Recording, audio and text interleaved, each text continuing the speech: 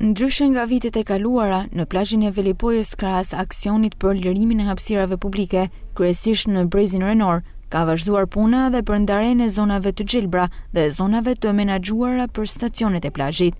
Drejtori i Administratës së Zonave të Mbrojtura në Shkodër, Agim Dardha, tregon se në bazë të udhëzimeve të caktuara nga Ministria e Turizmit, është bërë ndarja e zonave publike për plazh. Këtë vit, për herë të parë procedurat do të kryhen përmes portalit e-Albania, gjë që ka krijuar disa probleme, bën të ditura drejtori. Duke respektuar rregullat dhe kriteret e posaçme për ndalimin e koronavirusit dhe përhapjes së saj,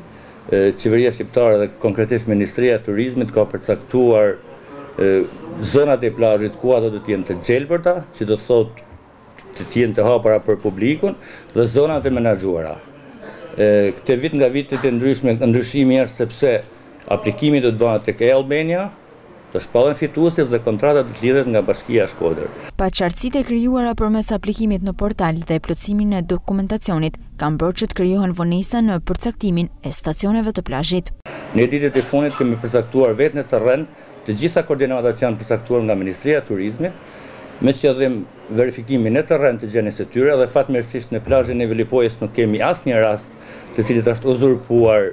nga çadrat, të cilët gjithë presin lidhjen e kontratave me Bashkinë Shkodër nëpërmes e-Albania dhe fillimin e procesit të turizmit. Megjithëse për ne është shumë e vonuar sepse kontrata do të fillonte qysh me datën një qershor, por ama janë ca procedura dhe njerëzit kanë nevojë të sqarohen se si të aplikojnë te e-Albania dhe dokumentat që duhet të paraqesin për fitimin e kontratës. Një paqartësi që ka qenë ditët e fundit tek bizneset në Velipojë ka qenë edhe parcelizimi i tepruar, si mund të themi, i këtyre plazheve, se gjerësia e tyre është deri në dhjetë metra. Por një biznes mund të marrë jo vetëm një parcelë, por disa parcela. për shfrytëzimin e këtyre, por duke respektuar gjithmonë distancën dhe krijimin e hapësirave të gjelbra pra për plazhet publike. Pavarësisht se ndarja e parcelave është bërë me një gjerësi deri në dhjetë metër, udhëzimi i Ministrisë së Turizmit i lejon të interesuarit të aplikojnë për menaxhimin e më shumë se dy parcelave në plazhin e Velipojës gjatë këtij sezoni veror.